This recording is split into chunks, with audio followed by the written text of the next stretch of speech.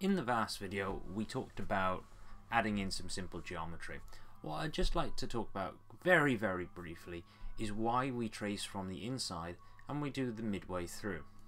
So IES, when it's looking at massing and geometry, does not necessarily see walls as anything other than, and this will take a little bit of a jump, infinitely thin but with a resistance towards the movement of heat.